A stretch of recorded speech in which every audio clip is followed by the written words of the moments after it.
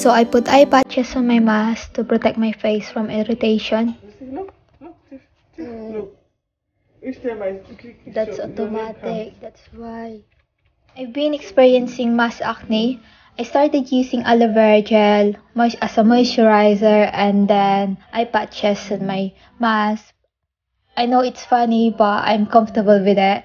But it's time to give up. I did online consultation in Boots and they prescribed lymecycline antibiotics and Skinoren cream. I've got three boxes enough for three months. I'm using Cetaphil Gentle Exfoliating Cleanser.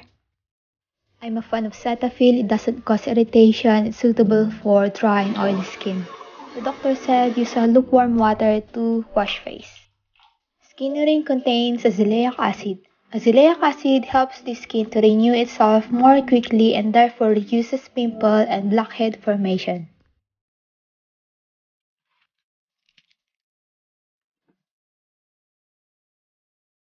It looks so sore.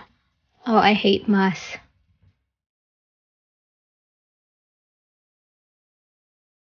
Whenever I wear mask, it causes pain and itchiness. So by the end of my shift, I've got new pimples. One of the side effects of skin cream is burning sensation, which I experience. But it only takes few minutes. I'm surprised on my day too. It's less red and no new pimples.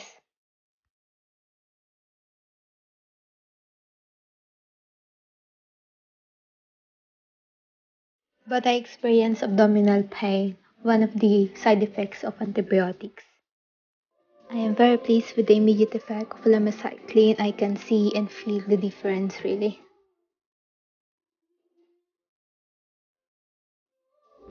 I've got new pimple on my right side of my face. That one big pimple there.